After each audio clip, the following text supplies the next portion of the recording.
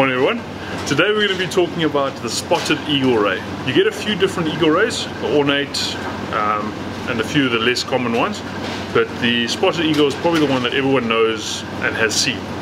Now, the scientific name Aetobatus narinari. The spotted eagle ray is sort of a diamondy shape, very long tail, and they've got a tiny little finlet uh, almost like a little dorsal fin, which it is what it used to be, if that makes sense, evolutionary speaking. It's now shifted all the way down just above the tail, sits up like that. They do have spines on the tail, so much like your any of your other skate species, you do have to be very careful. The spine does go into you. Watch some of the previous videos, you'll know what we're talking about. You want to stay away from it. If it does penetrate you, very hot water. It's a protein enzyme poison on there, so the heat actually denatures the protein, kill, in essence, kills the poison back to the, the shape, you've got a light colored uh, bottom, normally white, top very very dark, almost like a royal blue sometimes, with white spots all over it. They have very pointed wings, so diamond diamond shaped wings. Their face is very similar to something like a duck bill, where they've got a protruding sort of mouth and the eyes sitting on the side side of the head. Now when it comes to handling them, you want to handle them by the mouth um, they do have spiracles on the side. Don't put your fingers in there. It's like getting a finger shoved into your lung. It's not a nice thing to do. Also, don't pull them by the tail. You can actually break the tails off because it's a lot of weight generally that you're trying to pull. The spotted eagle is probably most known for either being seen jumping out the water or someone having hooked it and been stripped because they are extremely strong fish.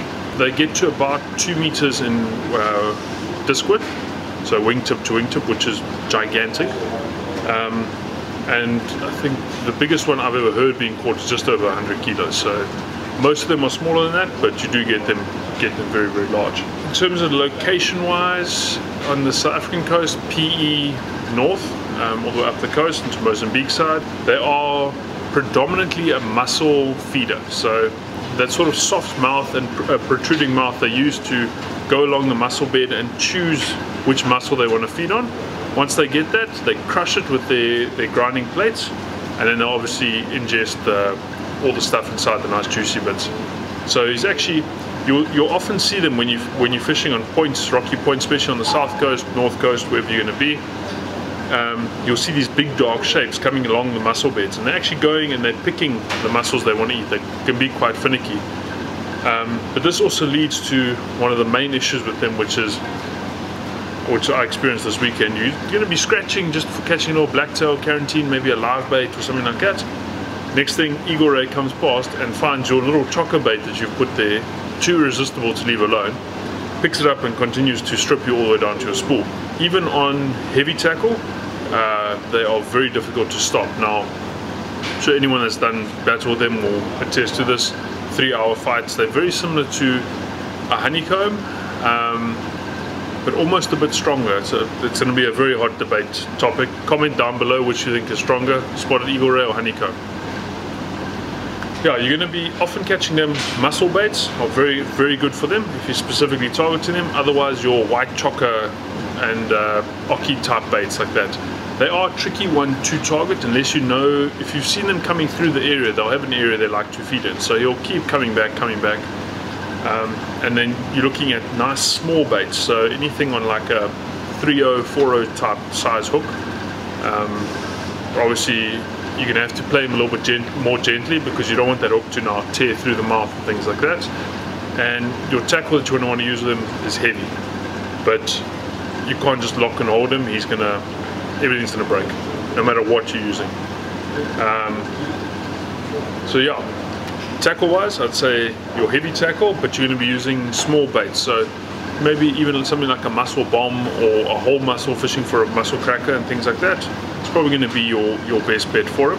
And then actually visually looking and finding where they are. Um, another thing about them is you often see them actually jumping out the water. So very similar to like a manta and things like that, that he'll leap out the water with his, with his wings flapping. As to what they're actually doing, uh, could be some form of a mating ritual display. Um, could just be them having fun. We don't know the, the insights or the, the psyche of the, the eagle ray's mind. Um, some rays do give birth in the jump. I haven't seen this. Um, actually the force of coming back down, they can give birth. As to why they do that, I don't know, but you often see them jumping on the in, in the deep. coming coming past. Now, sexual maturity of these fish around about five years, so fairly slow growing, um, and that's a disc width of about 1.2, I think it was 1.2 to about one and a half meters. So fairly, a fairly large fish, and that's when they can first start actually reproducing. In terms of eating quality, uh, they're too beautiful to eat, so just put them back nice and safely. Don't drag them up onto the rocks. Try and, if you can, release them right close to the water. Even if it is one hook, if you have to get close enough to be able to cut the line off just so you leave the hook in, that is also better than dragging them up the rocks to try and get a hook out. Um, but yeah, careful of the tail. It's not the tip of the tail, remember, it's at the base where it joins the, the ray itself. And yeah, that's about it. If you do land them, uh, respect them. He gave you a good fight, put him back and let him give, do it to someone else. Cheers, guys.